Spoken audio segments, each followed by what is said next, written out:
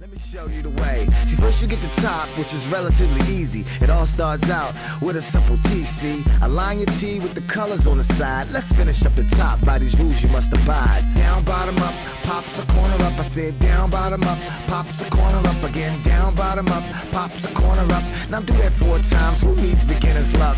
Top solved.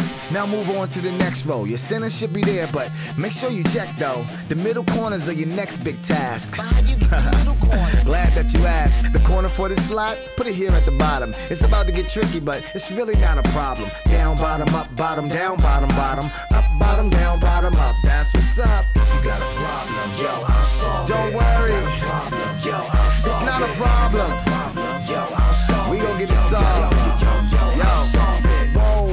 Now you looking like a genius. Almost solved your Rubik's Cube and everybody's seen it. You wanna brag to your friends, but before you go, let me teach you how to solve the bottom row. These corners, see, they come before the middle edge. Now I'ma drill this algorithm in your head to get these corners in their proper position.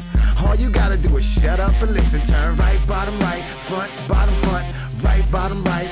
Then bottom, bottom, turn right, bottom, right, front, bottom, front, right, bottom, right, then bottom, bottom.